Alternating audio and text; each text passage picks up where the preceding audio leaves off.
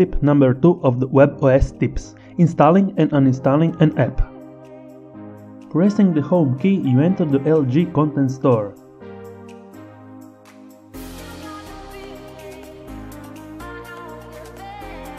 Clicking the App and Game tab.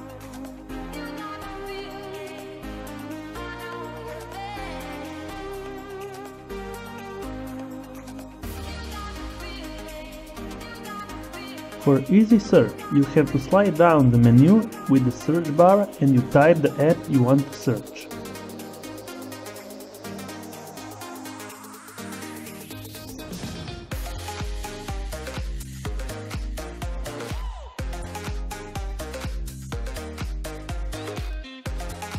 At the right side you can find the app size, version and details.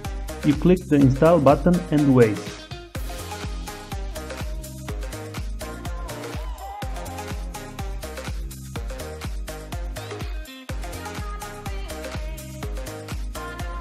Once installed, you can launch the app right from the button or you can find the app pressing the home button and moving the cursor to the right finding the app you installed.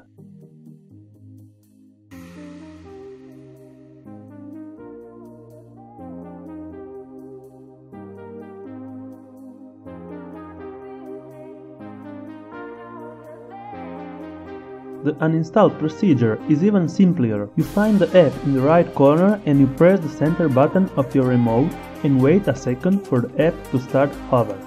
An X appears over the app and you click it.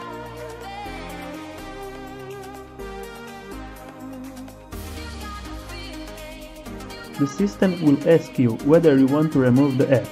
Confirming the removal you are done. This tip was brought to you by